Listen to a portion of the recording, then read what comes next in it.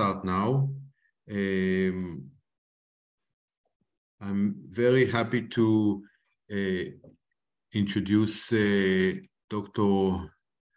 Uh, Adel Manna um, to our last, uh, fifth and last conversation uh, within the framework of encounters, which is a joint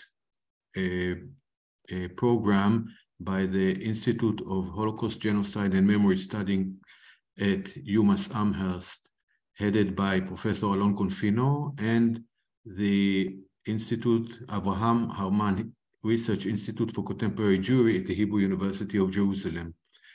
Uh, unfortunately, Alon uh, is still facing some medical problems and will not be able to lead in the conversation with me and uh, talk with uh, Dr. Manna, but we all wish him a refuah shlema, a full recovery and speedy, speedy and full recovery.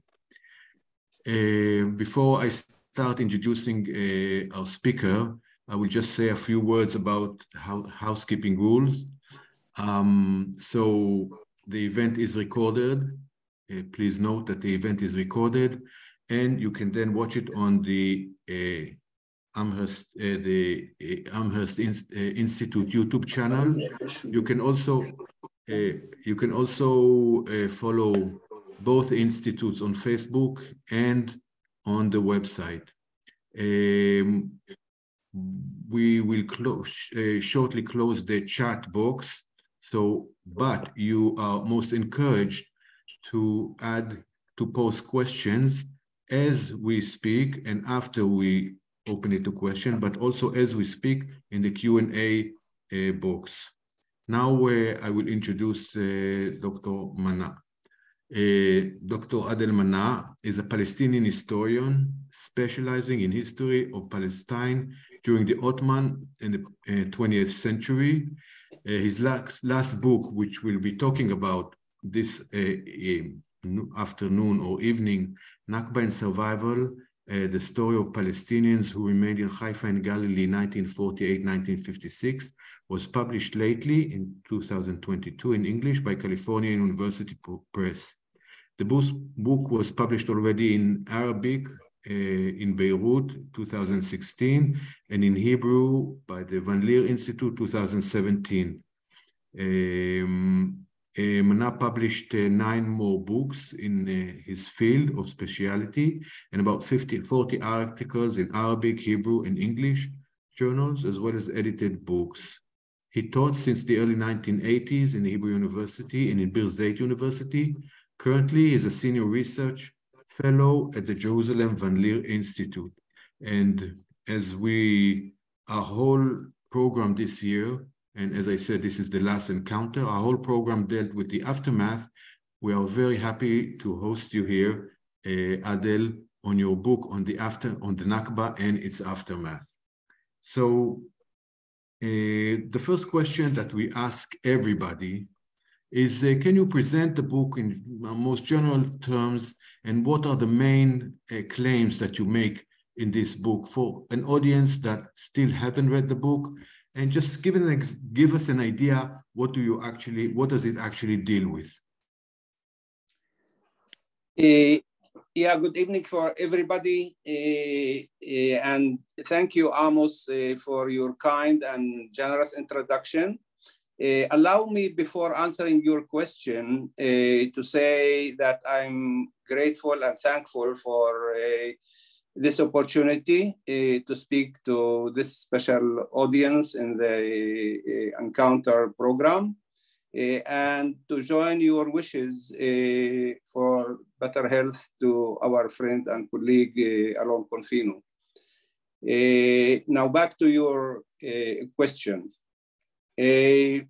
this book, Nakba and Survival, is telling the story of Palestinians who remained in Haifa uh, and the Galilee eventually, which means that some of them, most of them remained during the war of 48, but others were pushed out, were expelled, and succeeded to return uh, to their homes or to the Galilee at least, sometimes not to their homes and villages, but to the Galilee, and became Israeli citizens uh, since uh, 1948, 9, or the year they, that in which they succeeded to return. Now, this is a, an account uh, of the realities of those people uh, during the Nakba, 1948, and after, in the decade uh, after until uh, the year 1956, sometimes uh, even more, until the 1958. Uh, I'm telling the story of those people who remained there from different sources that probably will speak more about uh, those sources, particularly oral history, uh, which is very important addition to the other written uh, sources. Uh, it's a kind of uh, field research, uh, which is not used by historians many times.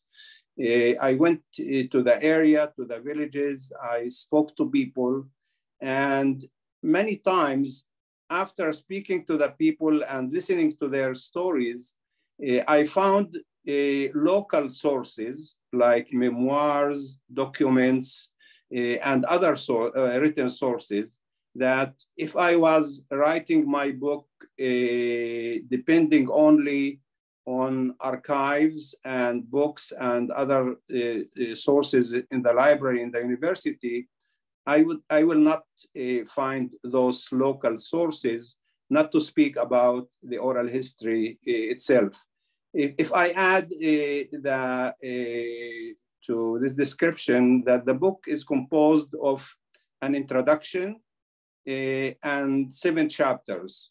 The first two chapters uh, are telling the story of the occupation and survival uh, in the lower Galilee first, uh, and Nazareth in the center and its villages. And then the second chapter is about Upper Galilee, the occupation of Upper Galilee uh, on late October 48, early uh, uh, November. Uh, then I move to speak about the survival after the war and speak about the communists in the third chapter, which we will speak probably about them more later. Uh, and then about their day-to-day realities from their own point of view.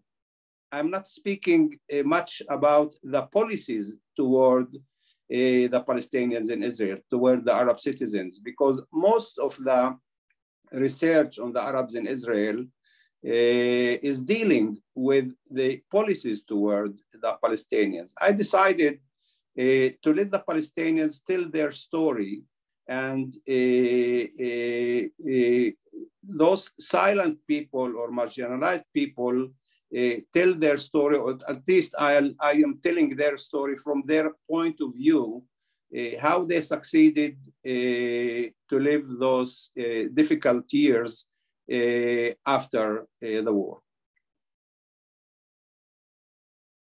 Uh, thank you, Adel. So 1948 was obviously a major catastrophe for the Palestinian people, a major blow where uh, most of the, the population under uh, within the Israeli state either fled or expelled or a combination of both were uh, encouraged to flee.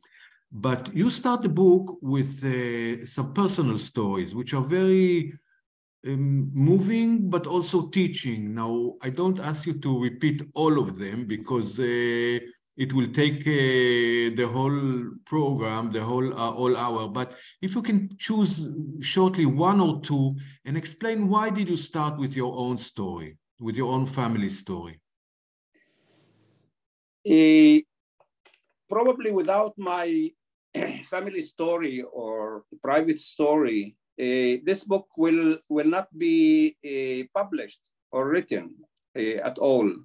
And I start with a turning point in my life, to my mind, uh, which influenced uh, my future uh, and maybe also made me choose to study history. And I'm speaking about the year 1958. It was spring, late April 48, when I was 10, 10 years old. Uh, and in our school uh, that year, like in many other or all Arab schools in Israel, they were forced to celebrate a decade, 10 years, uh, to the establishment of the state of Israel. As a kid, I loved that week of celebrations uh, I preferred it like other kids uh, on the boring uh, teachings of the of the teachers what they taught us, and in the principal day of celebration, uh, the parents were asked to come and see their children celebrating. And uh, let's remind you and others that it was military control and uh, uh, not accepting that invitation and not uh, showing up was a problem for those parents. So my father did come to that day and I celebrated with others and I had the uh, two uh, roles in, in the celebration. And after the celebration, uh, I thought my father will say, bravo kid, uh, you played well or you did this well. And he said nothing. And a few days uh, after that incident, I encouraged myself to ask him, are you mad on me, dad? And he didn't understand from where that question comes. See, so he said, did you do something bad that I should be mad on you? He didn't think about the celebration of independence a few days ago. And then I reminded him and he said, ah, a, a istiqlal, a, a independence of Israel. Kid, it wasn't istiqlal, it wasn't independence for us. It was istihlal, it was occupation it was a catastrophe.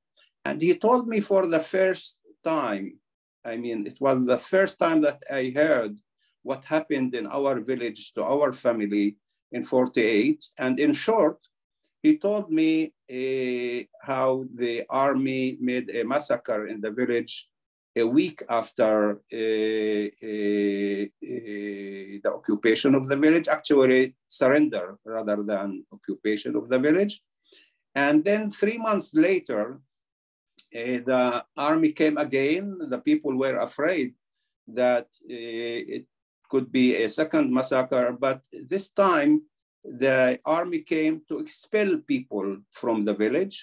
Uh, and we, our family, small family, my father, my mother, and myself as a kid, one year old, were expelled from the village by trucks and buses of the army and we made a, a whole tour uh, from uh, the borders uh, with Jordan in Wadi Ara, near Umm al-Fahim, uh, Ara and Arara, to Nablus, and from there to East Jordan, to Syria, to Lebanon. And we lived in Lebanon for two years or more than two years, particularly in Ain al-Hilwe refugee camp, and came back only in summer July uh, 51. So that story, uh, you know, haunted me. And I kept thinking uh, about what could happen to Adel, the kid, if he was staying with the, his family in Lebanon as a refugee, if my father didn't uh, dare, uh, you know, to come back uh, to the Galilee by sea, by the way, and become again a, a, resident of the village of uh, Majd al-Krum. Uh, and then I learned more and more, but th this in short, this story, I, uh, and the question that asked my, uh, my father, why our teachers are telling us a totally different narrative. about what happened in 48 and what Israel is doing just good for the Palestinians. And why that's why they should celebrate with the Jews in Israel uh, the establishment of, uh, of the state and then all you know the good things that uh, the state is doing and the, the state is flourishing for all its citizens and so on and so forth and i learned that uh, uh, from my father that and others that teachers should teach the zionist narrative. Otherwise they will be kicked out uh, from a teaching job.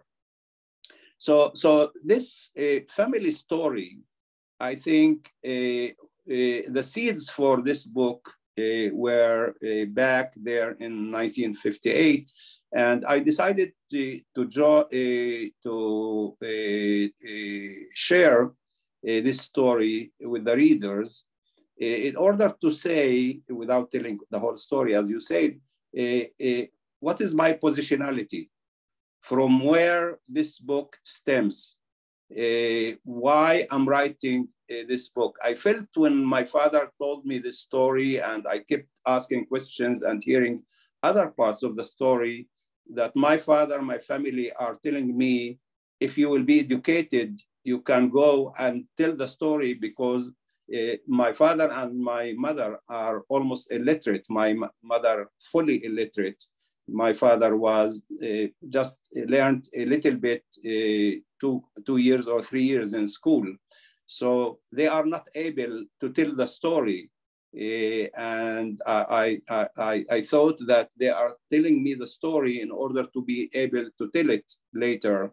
But it took a long time until I did it, uh, as you said uh, earlier. Sorry, I'm not hearing you. Yeah, I'm saying now let's jump in into the content. And one of the claims you make in the, it, it as you explained before, there are several parts, but part, one is the major, claim, the major claims you make in the book, which is very controversial and also very, I would say, tense political, that there was a policy, Israeli policy of ethnic cleansing in the Galilee and actually beyond. Why do you say that and how do you, what do you actually mean? what do you, why do you say that and how do you uh, base your claim? Well, to begin with, I'm, I'm basing my claim on the Zionist position uh, toward the Palestinians uh, from the beginning and at least uh, after the Balfour Declaration. The Balfour Declaration gave the Jewish side, who were a minority, less than 2% at that time, gave them the right of self-determination, national rights in Palestine, without giving the same rights to the Palestinians, who were more than 90% of the population. And since this declaration uh, was actually written uh, one way or another uh, by British and Zionists, as we know, it resembled the Zionist attitude toward Palestinians that the land of Israel is the, for the people of Israel, or that uh, uh, this land, Palestine, land of Israel, is a vacant a, a land for a people who don't have a homeland, the Jews.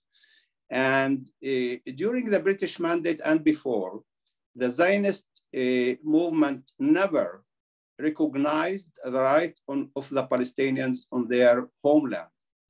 And when they were asked, what shall they do with the Palestinians? And as, as, as, uh, as people who just came lately uh, to this land, who immigrated to Palestine, like other immigrants from Europe to different parts of the world earlier in the 16th up to the 19th century, uh, the Zionist movement uh, didn't, or the leaders of the Zionist movement, did not give uh, real answers to what shall they do uh, to the majority of the people, how they will uh, turn Palestine from a land uh, settled by majority, vast majority of Palestinians to a land settled by majority of Jews.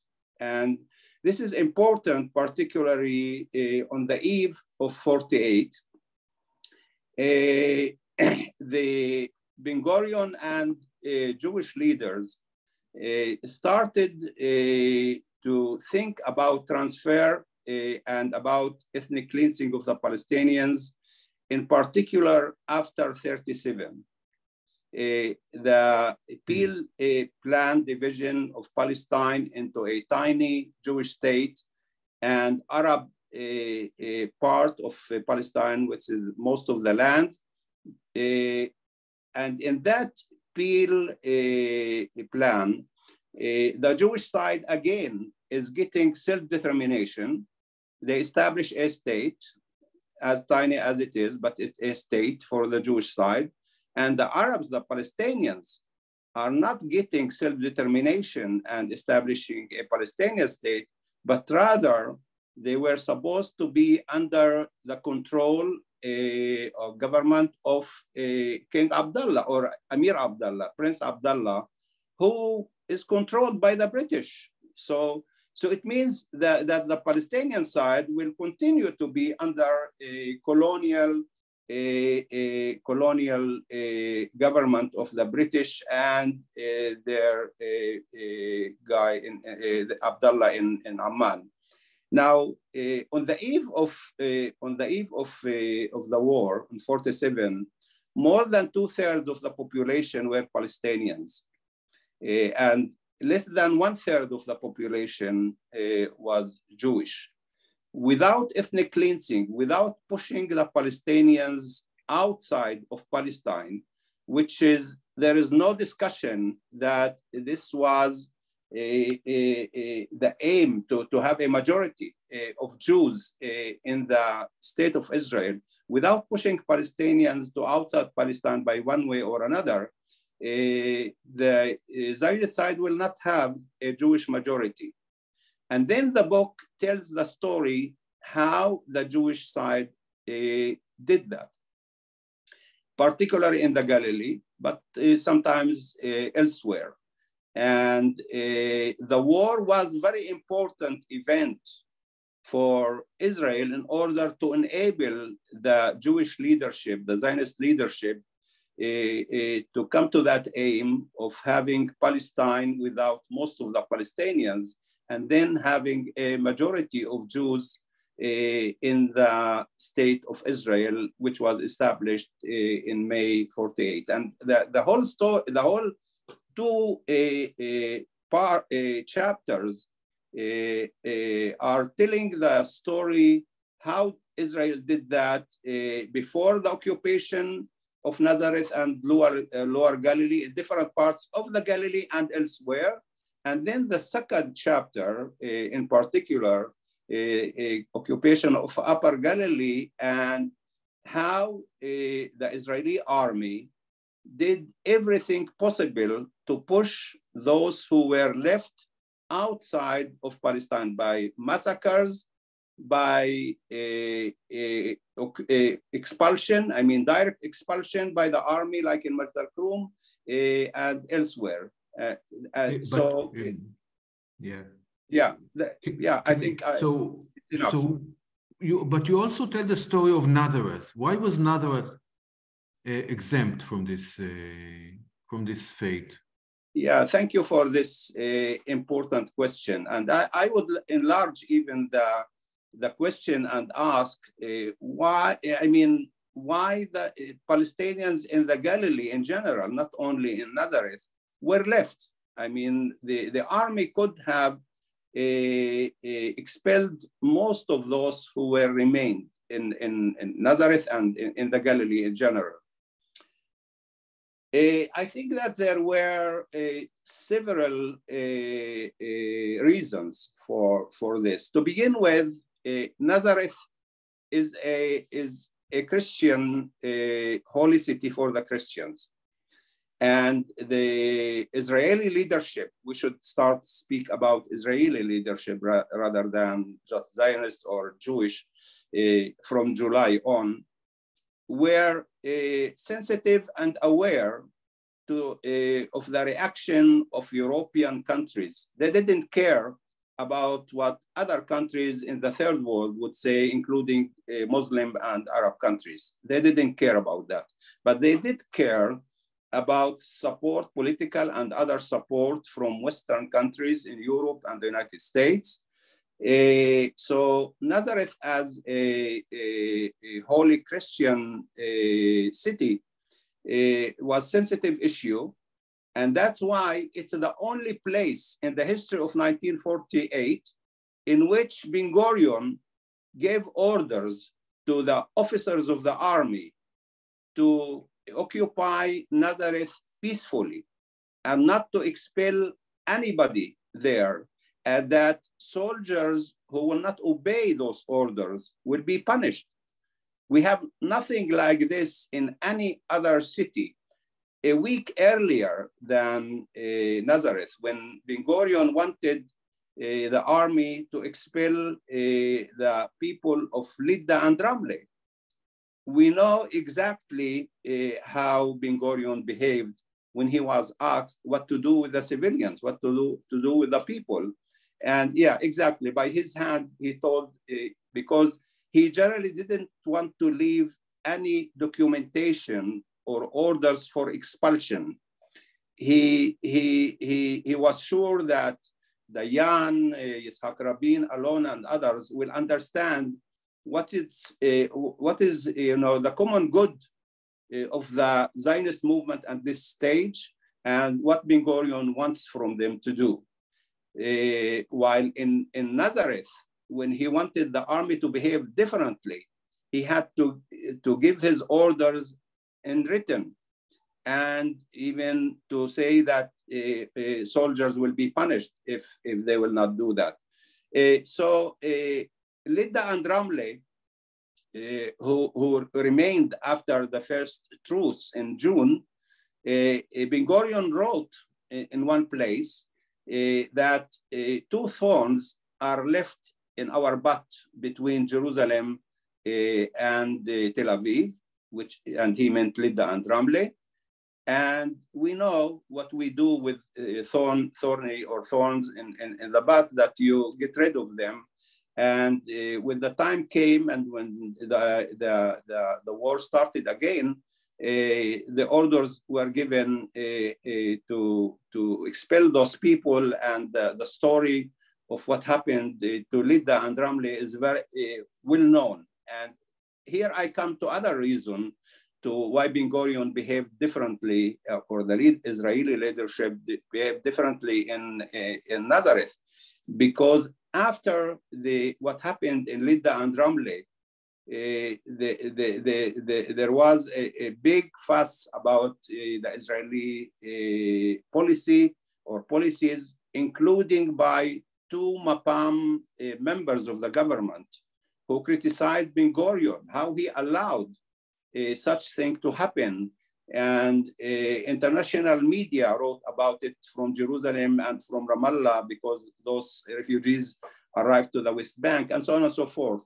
So uh, this was uh, another reason that he couldn't, uh, you know, agree. I mean, he couldn't take on upon himself that something similar happened in a holy Christian city like Nazareth. And that's why we have to give a, a different order.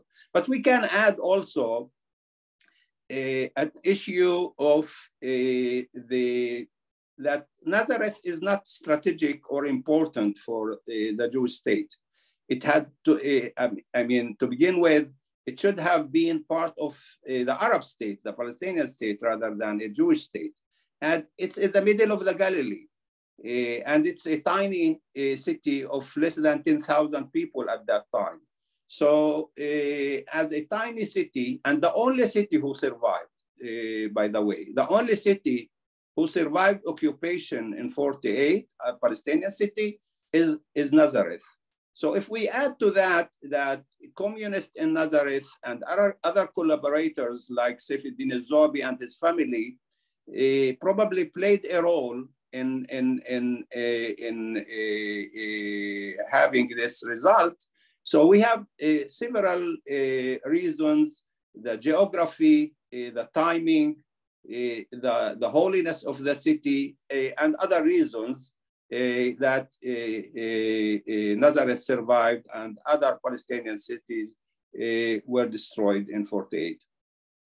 So this is very interesting and the, the, the, distinctions between the regional distinctions and the timing is makes and maybe we will get back to it. What you hinted that not all were expelled but a minority was allowed somehow to to stay on, on in the villages. But let's move forward. And and after this big catastrophe, you, you, you start, you describe very vividly how do people cope with it. Uh, the first minutes the, the, the, of the after the occupation and understanding that something dramatically changed and how to cope with it. So can you give us an example, maybe from your own village, Majd al-Krum, what happened in the days after occupation how did it affect the the Palestinian population, and how what what like the first days or even year to cope, to confront, to survive, as you call it, survival. What would so how this like the the the, the first year of, of, of from a Palestinian point of view of how to cope with it, and I just say that I start see I, I see that start people start posting question. I encourage you to already ask questions now in the Q&A. Uh, okay, go ahead, Adel. Okay, thank you, Amos. Um, the war uh, have stopped uh, at the end of 48 with the Arab armies. And then uh, ceasefire agreements uh, uh, or were signed with the neighboring Arab countries, starting by Egypt and ending by Syria in the first half of uh, 1949. However, for the Palestinians who remained in Israel, the war actually did not stop, neither in the end of 48 nor uh, in 49. Uh, for eh, the Israeli leadership, this was a problem. They, they spoke about the Palestinian problem in Israel or the Arab problem in Israel. they, they started thinking that actually those uh, 120,000 uh, in the Galilee or 150 or 60,000 after that Jordan transferred the triangle area to Israel, they became 150 or 160,000. They should not have remained in Israel. It's, it's better to get rid of them. And that's why uh, the policy of uh, expulsion of people uh, from the Galilee and elsewhere continued after 49. It continued in 49 and continued until 1956. I would like to uh, uh, just mention the expulsion of two villages in the Hula area in the north, two villages called Krad al-Baqqara and Krad al-Ghannami. In the whole district of Safad, where uh, ethnic cleansing was almost full I mean, most, the vast majority of the uh, people uh, who li were living in uh, Safad itself and uh, 70 or more than 70 villages around uh, Safad, most of them were expelled and only three or four villages remained.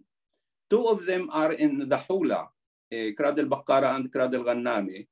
Uh, the Israeli leadership uh, started speaking about a, you know the expulsion of the rest of the Palestinians who were remained in Israel in the second round of war. And they were waiting for a second round of war, which came in 56, as we know, in the Suez Canal War, uh, when Israel uh, uh, Eh, coalesced eh, eh, with the Britain, the colonial Britain and France, the, the last war, colonial war in the Middle East. and they thought that this time could be an opportunity to expel more Palestinians from Israel. So in the north, Rabin, Ishaq Rabin, who was uh, the officer of the northern uh, part of Israel, uh, Aluf Pikud Tzafon, he wrote in his uh, memoirs uh, that we thought that Jordan or Syria will come to help Egypt in this war, and uh, then the soldiers will participate in the war and will have to do something in that war. However, they did not, and the soldiers were bored. They had nothing to do. And I ordered them to expel the people of those two villages, uh, three to 4,000 people from their villages in 56, and they were expelled uh, to Syria and to Jordan. That's in the north. And in the south, as we know, uh, the massacre in Kufr Qasim uh, which we know today that uh, the real aim of the massacre is not just killing the people, but frightening the people of Kufr Qasim and other villages in their vicinity Uh, in order to let them uh, flee uh, to the east, to the West Bank. Uh, so th those two incidents, uh, major incidents in 56, are part uh, of the continuous a, a, a policy of the Israeli government after 48 in order to get, to get rid at least of part of the Palestinians who remained in Israel.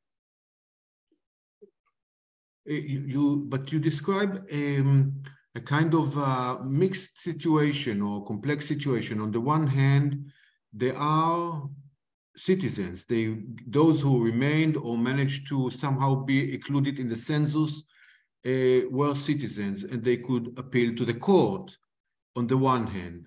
And, but on the other hand, they were under martial law and discriminated, are always uh, and oppressed, always uh, under the threat of another Nakba or another expulsion. So how did they uh, manage to, to take advantage of the of the minimal rights that they did have in, mm-hmm. for example, uh, to, to to keep the lands or and can you can you describe this complex situation that they are still citizens and can vote and can appeal to court and uh, in a, as if a democracy and on the other hand they are under martial law until 1966 under as you uh, and under all kinds uh, procedures of operation as you just explained so this complex yeah. situation yeah. can you yeah, thank you for posing this question again to me because it's important yeah to try to to understand what kind of life the people had at that time I, I, should start. Uh, uh, I, I, should start by saying that uh, actually uh, being citizens of Israel was something formal only because uh, no country uh, put Uh, citizens of the country under martial law or under uh, military uh, government.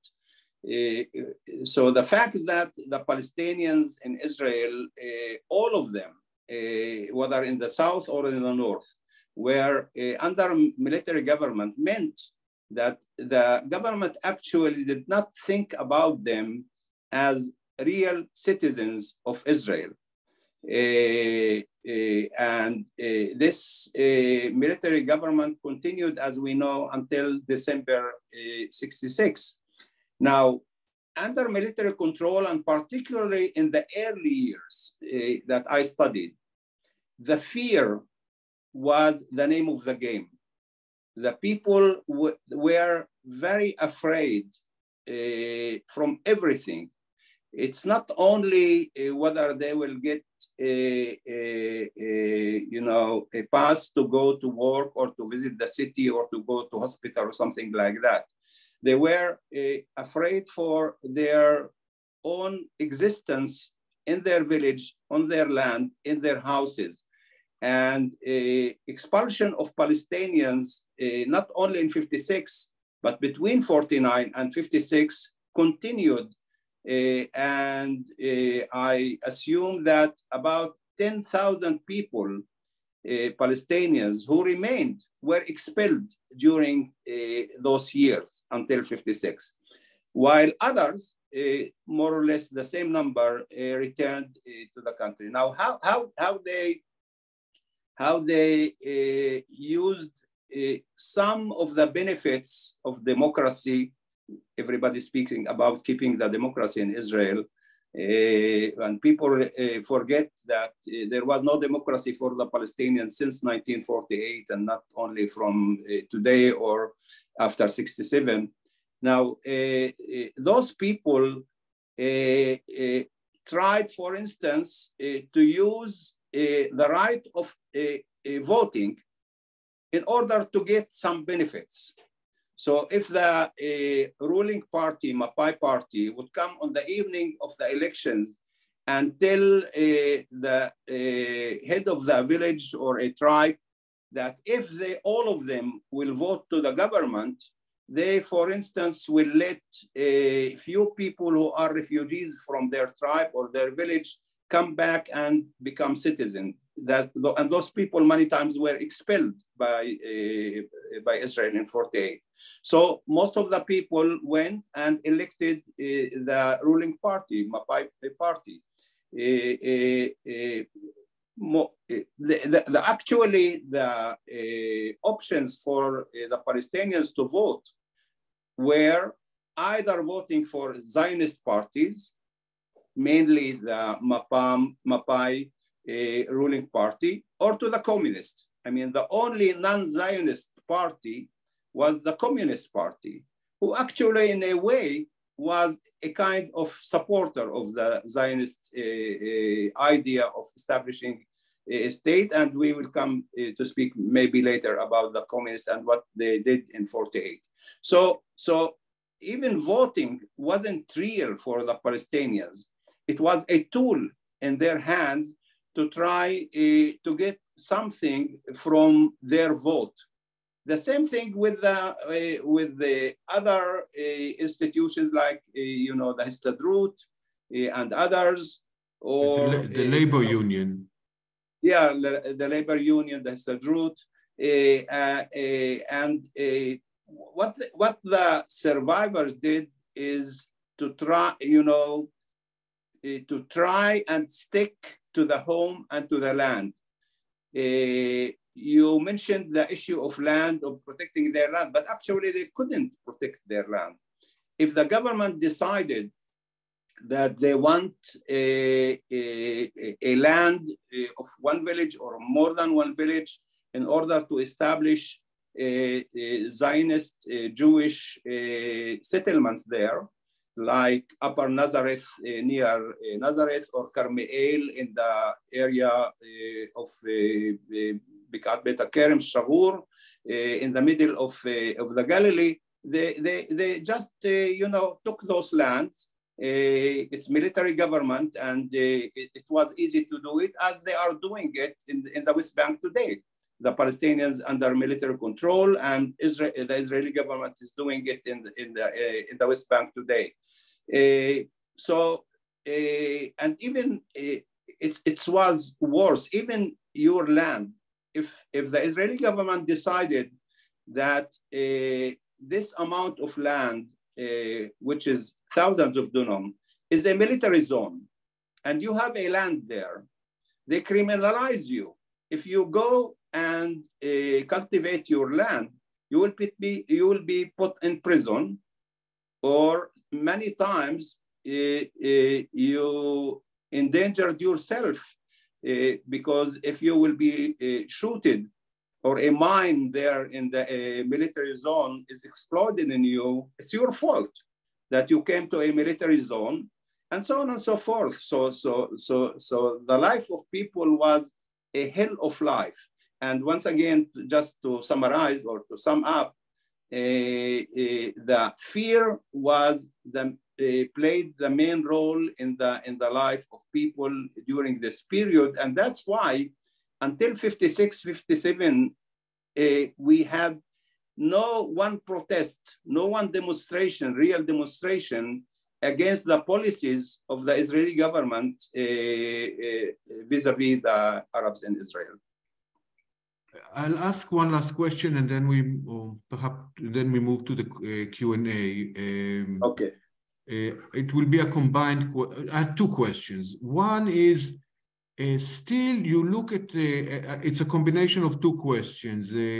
still you look at the Palestinians in in the state of Israel as agents. They are, they have capabilities as limited as they are, and they use them. They are not just subjects of history, but they are active agents or objects of history. And this also connects to the uh, your uh, using oral history as a major. So you hear the people, their stories, and what they actually did. So if you can talk about those two elements shortly, uh, on, on the one hand, so why do you consider them as agents? What they can, what actually they could do and did do?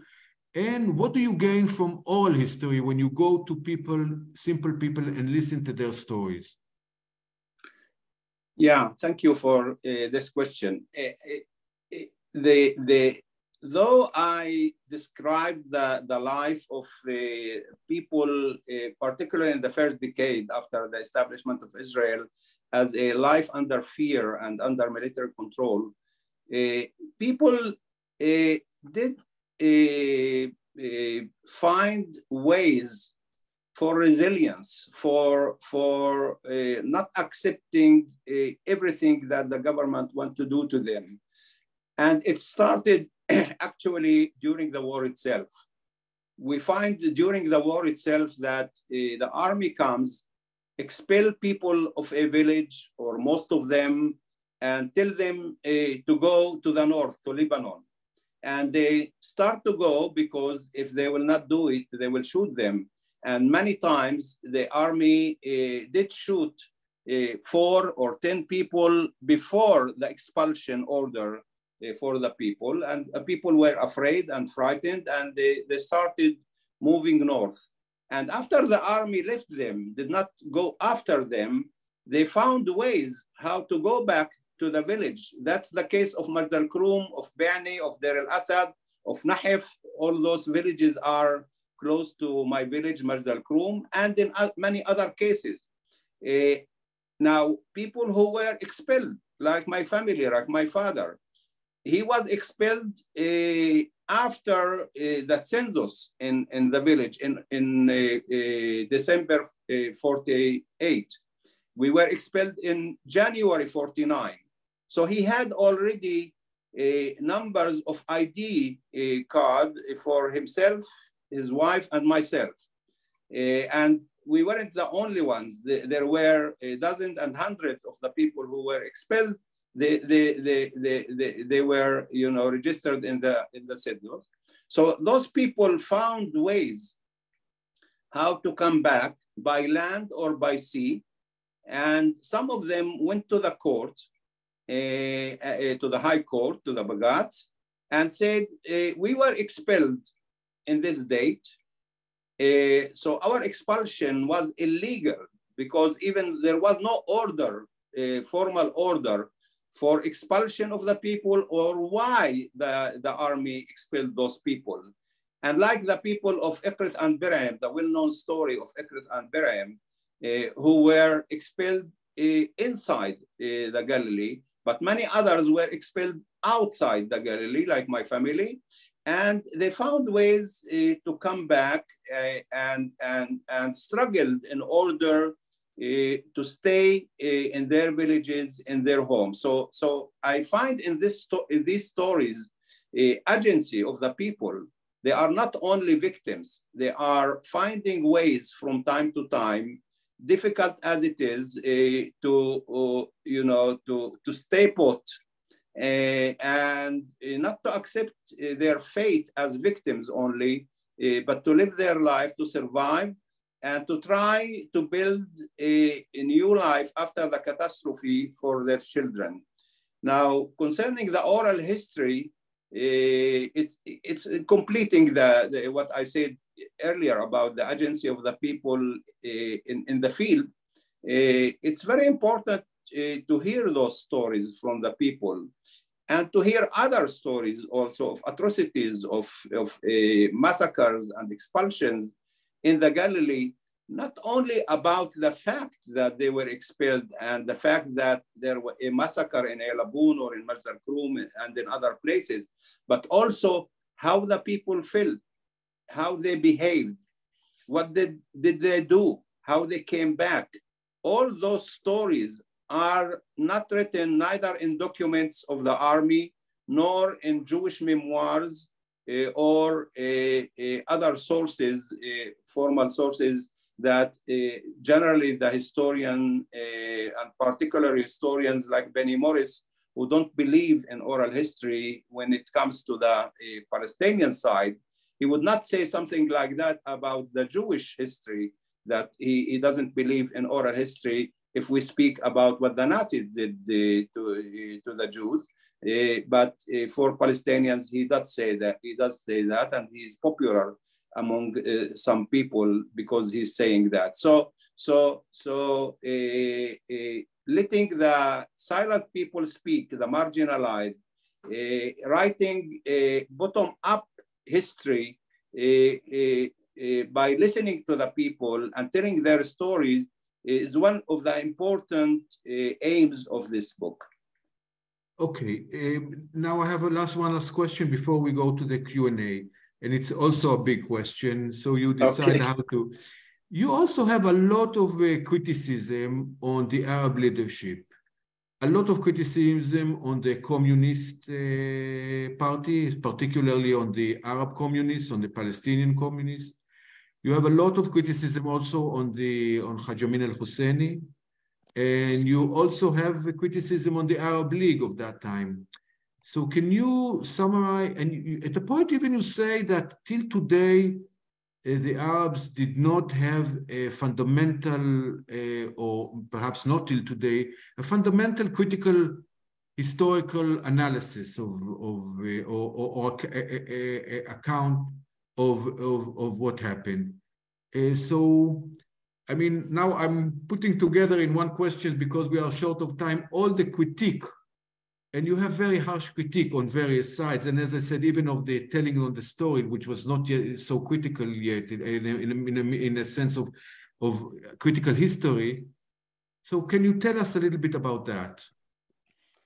Well, it's really uh, one big uh, question with uh, actually three questions uh, put together. and I try, I try to answer in brief. I do believe until today, and it's not only my belief, but others also, that until today, actually, we don't have a good comprehensive account from the Palestinian side uh, of the story of the Nakba, which is the import, most important event in their history uh, in, in modern times. And the reasons for that uh, are many, and I, I, don't have time now to tell them.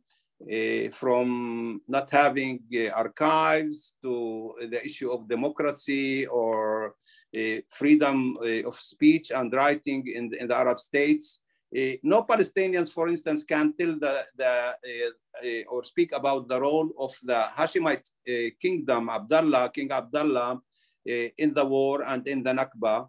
Eh, and that's why, in the same token, eh, the communists eh, were mad on me, or some of them at least, not all of them, were mad on me because I came up with what they did and what they said in 48 uh, they, they built a narrative of heroism, that they were heroes in, in 48, that they, they, it's true that they accepted the partition plan in 47, but that was a kind of heroism that they, they, they, they uh, by this way, by doing that, uh, and uh, they, they secured life for many people and that the communists I'm speaking mainly now about the Arab communists in the, in the north, led by three people, Fuad Nassar, Emil Habibi, and uh, Tawfiq Toubi, uh, that uh, the communists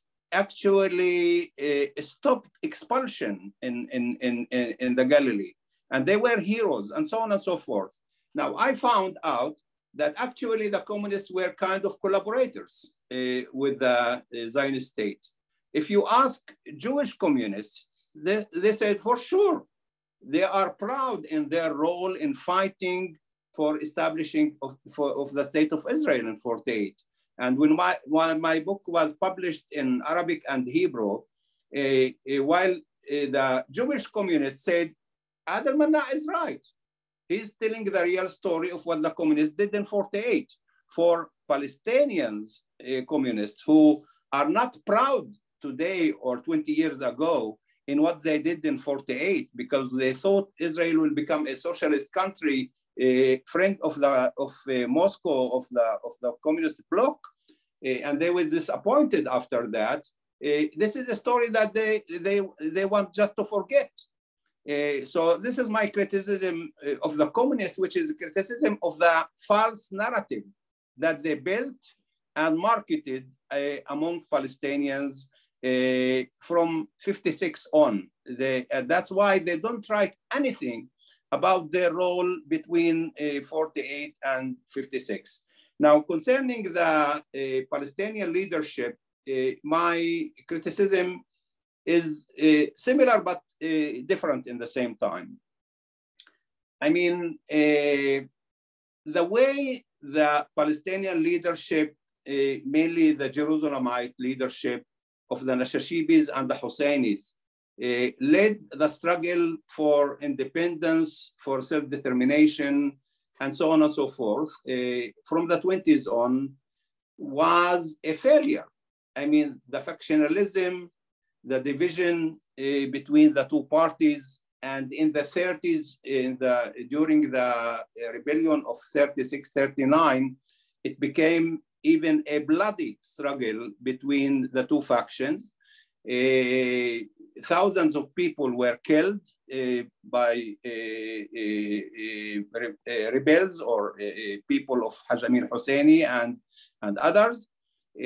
and this factionalism, this loss of unity of the Palestinians when they needed the unity against the British and against uh, uh, the Zionist, uh, you know, uh, the Zionist policies uh, was a, a, big failure, not only in the 30s, but also uh, the same thing happened on the eve of the war.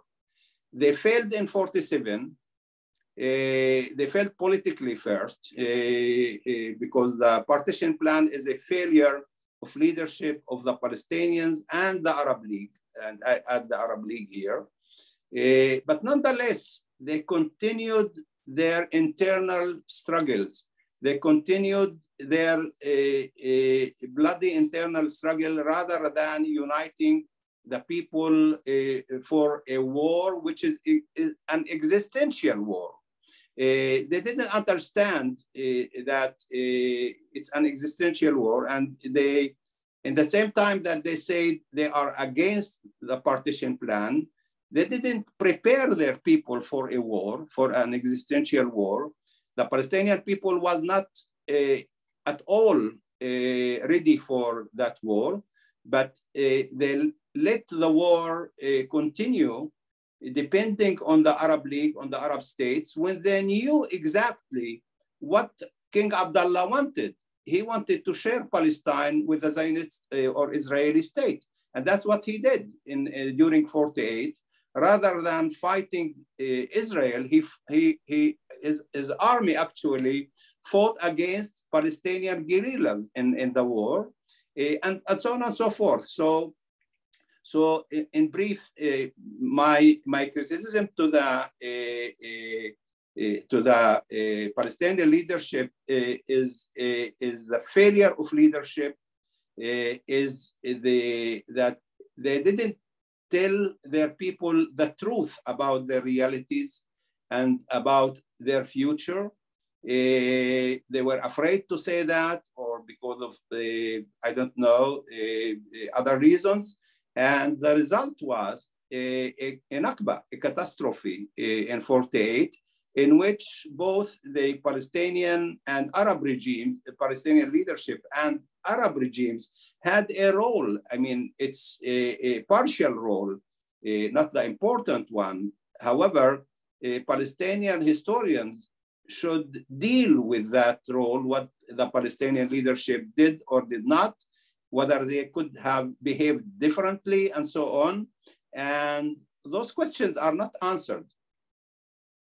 And now I'll move to, to the, uh, thank you, Adel, uh, for this. Uh, I encourage everybody to read the book because all those uh, points that you share with us throughout this uh, conversation are elaborated much more in the book, uh, which is really, I read it in Hebrew when it came out. It's a little bit different, the English, but it's a fascinating and eye-opening book.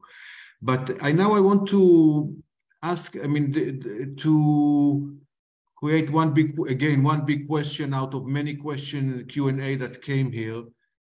Don't you tell a, a biased story here when on the one hand, uh, Israel in the, uh, in the uh, Declaration of Independence also granted, uh, spoke about um, uh, uh, rights, equal rights and social rights to the all people, about peace, was a, a kind of a democratic declaration.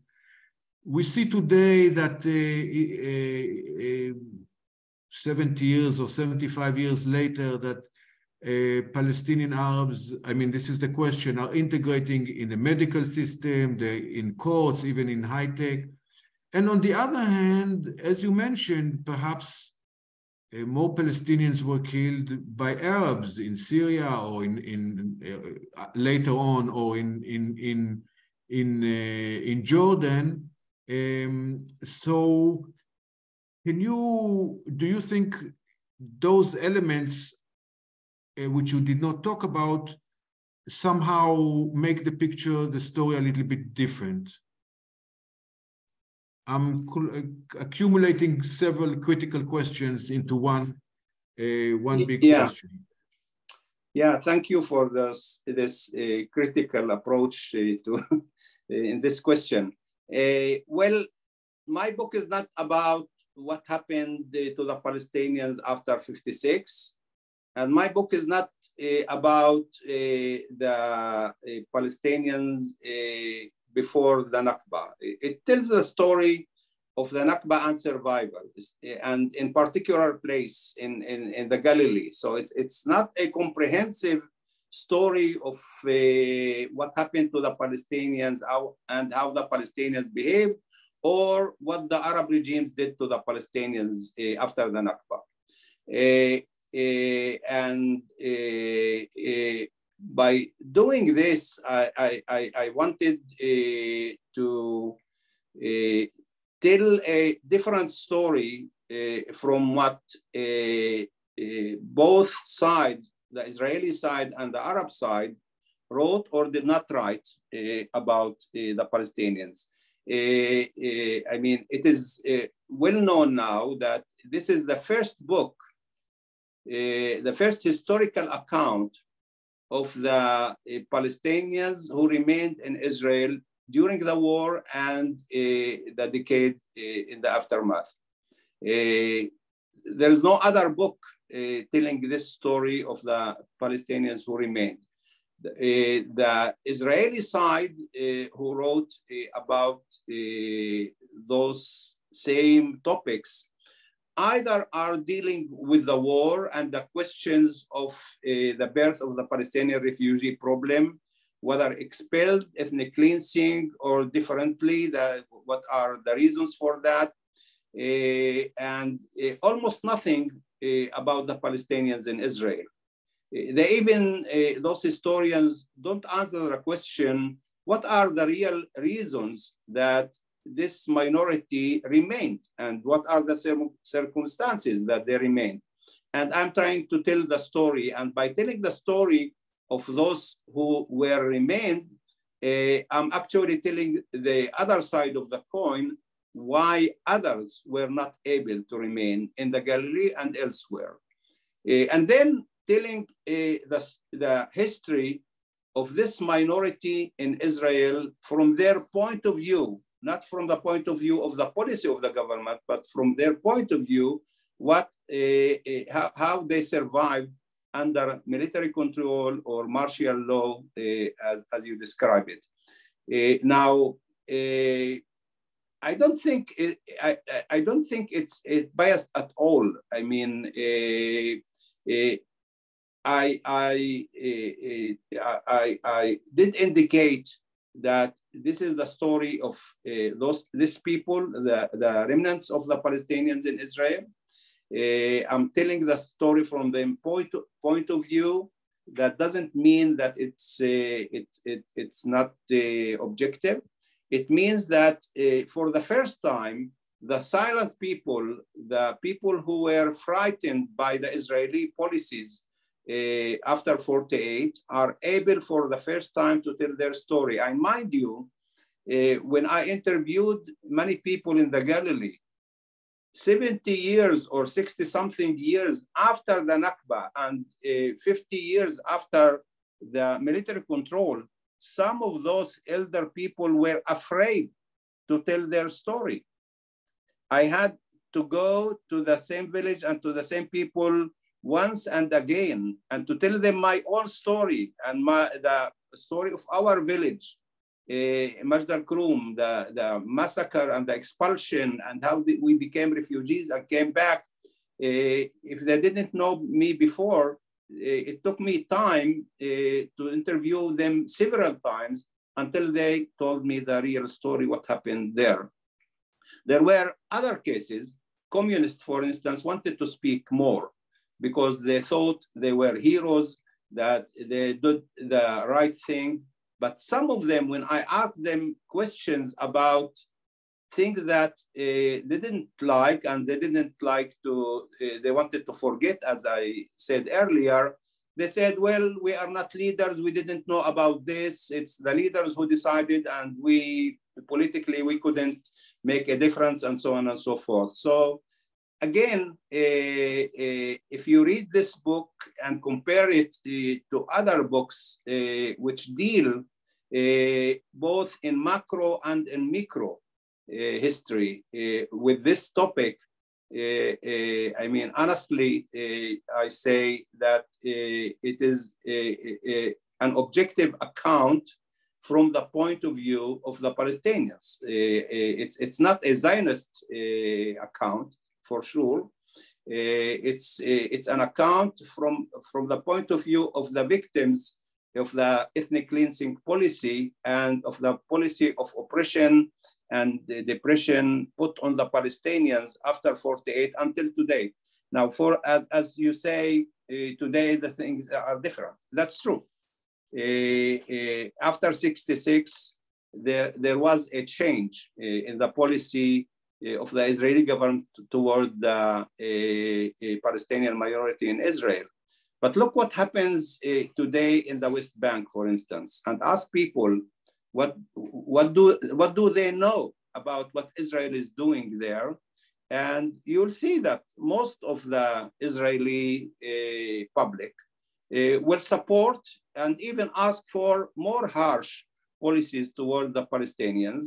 Nobody is speaking about the settler colonial system, the apartheid system, uh, and actually in, in 4866, the, the system in Israel itself was an apartheid system because there were two uh, different uh, administrations, political and other, on Jews and Arabs. Jews had a, a, a, set of rights which the Palestinians they didn't have in Israel until 1966. Things became better uh, in day-to-day life, but until today, uh, the life of the Palestinians, as you know, because of other reasons, for instance, the killing of people and what the what the police is doing or what the government is doing for this question. If if that number of Jews was killed uh, by criminals. Uh, I mean, no government can, you know, survive uh, the criticism of, of such a thing. Yeah, um, I, I, uh, thank you very much, Adel, and also bringing us to the book itself and to the period.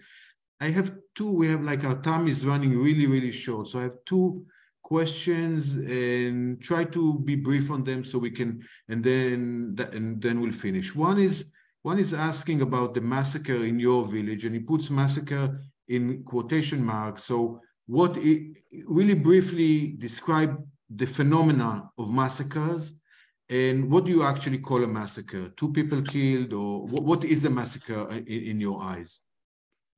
Okay, uh, uh, I decided uh, to call massacres or, or, a massacre an event in which uh, soldiers or uh, uh, militia people who have weapons killed civilians, not during fight or occupation, but rather after, or uh, uh, killing people uh, during surrender or occupation of a village when those people surrendered and have had no weapon and were not endangering in any way those soldiers.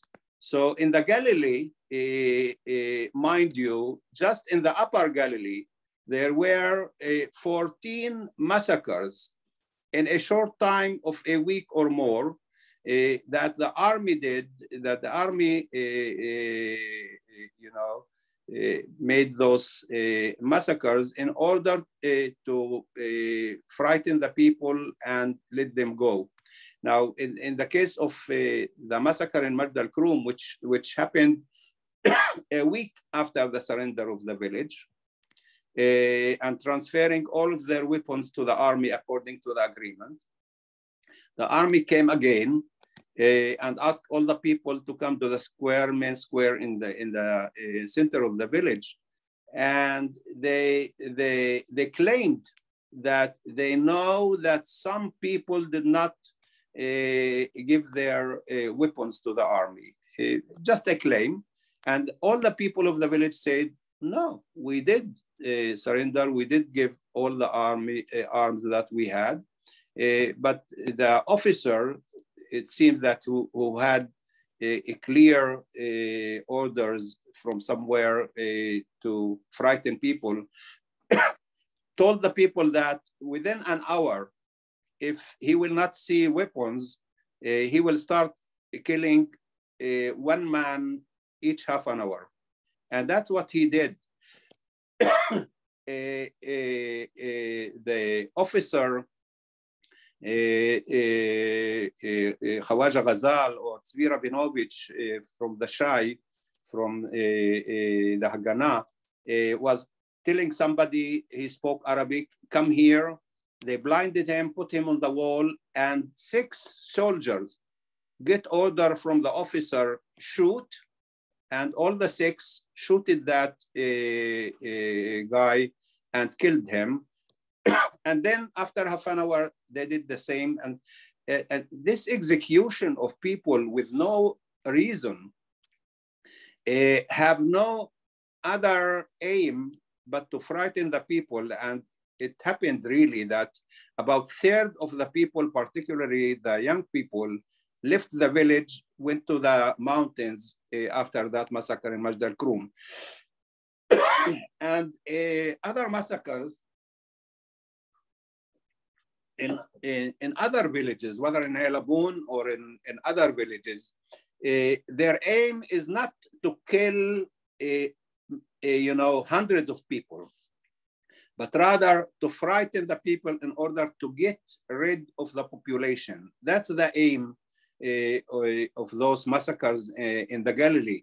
Sometimes the army killed 70 people, 80 people, but many times they killed uh, seven or 10, uh, like in Majd al-Krum and Dailabun. Uh, my way of defining what is a massacre is the United Nations definition, which is the killing of four, five, or more citizens by the army, not during war or uh, fights or, uh, or, or, fight uh, war events, but rather after, and not during occupation, but after occupation of surrender of those citizens. Um, okay, one last, last question. We have many more, but one last question, which is more uh, methodological, and okay. I think it might be interesting. Um, you focus on the oral testimonies, but would you like to uh, answer a brief? You found other ways in which people try to express their stories, paintings or memoirs or other, and how do they contribute to your uh, analysis and to your historical account? Uh, very brief. Yeah. paintings yeah, yeah, thank you toward the end that you are asking me this question because it's very important. It, it's telling a lot about this book, which is different from other books, whether are new historians or uh, old historians who wrote about the Nakba and after. You know, I, I, I decided to go to the field and to listen to the people because I myself, before becoming historian, and after I have started to study history in Haifa and later on in the Hebrew University, I found out that there is different information in the field from the information that uh, we have or we know about it in the archives and the books. And uh, that's why I decided to go uh, to the silent people, to marginalized people, to the victims, to hear their story, not in order many times, in, in order to have different numbers or account of the events in, in, in the places, but many times to listen to the people and to hear their story, how they felt, how they behaved, how they returned, how they found strength to, uh, for resilience and so on and so forth. And that was uh, very important uh, to let those people become agents of their story and not only victims of their story. Okay, I mean, there are many more questions, and I myself restrict myself from asking more questions, but our time is up, and actually we over uh, it. So thank you very, very, very much, uh, Adel. And thank you for joining us uh, for this conversation. And I, I think uh, next year we will come, the two institutes will join hands together in another series of encounters on a different topic. So thank you all. Thank you, Alon. Uh, if thank you are you. listening, uh, and, and um, speedy recovery. And thank you, Adel. Bye-bye. Thank you. Thank you, Amos.